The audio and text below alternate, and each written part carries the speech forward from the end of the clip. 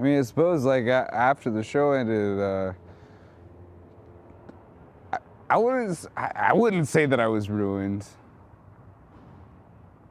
I mean, I think uh, it was uh, it was like a really good time, and um, and uh, it's over now. I, I am the guy that will be very angry. knew, I knew everything's gonna be, everything's gonna be different in some way. I couldn't figure out how.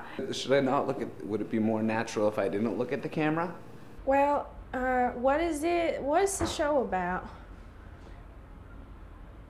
Let me uh, let me put it this way. It's it's about the the, the human experience. It's about portraying people as they are, as people view how people are. I think it's pretty obvious. I'm your guy. I advocated no such thing, McGee. And you know it.